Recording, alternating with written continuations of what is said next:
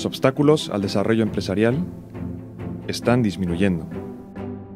A nivel local, hacer negocios es cada vez más fácil.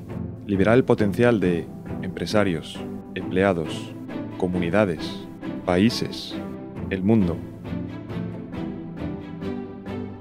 Se hace así. Los países están facilitando a los empresarios locales la apertura de empresas, dando mayor acceso a la electricidad, reduciendo el tiempo que se necesita para abrir una empresa, o transferir una propiedad, o comerciar con otras naciones.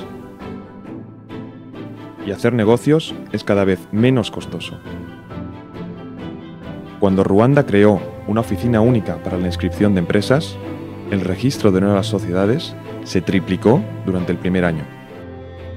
Hacer negocios no se trata solo de reducir, se trata también de aumentar las protecciones legales, la eficiencia de los organismos regulatorios, el acceso a información,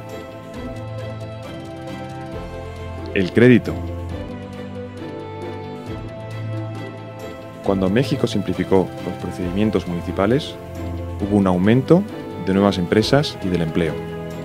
Hacer negocios es más fácil porque hay parámetros de referencia que son el catalizador de las reformas y que estimulan una competencia amistosa.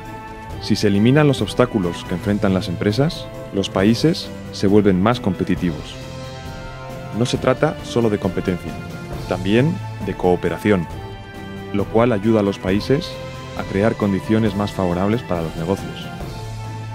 Para los pobres, abrir una empresa es una manera importante para salir de la pobreza, reducir las trabas burocráticas para las nuevas empresas, fomentar el espíritu emprendedor, mejorar la productividad empresarial y ofrecer más oportunidades de empleo.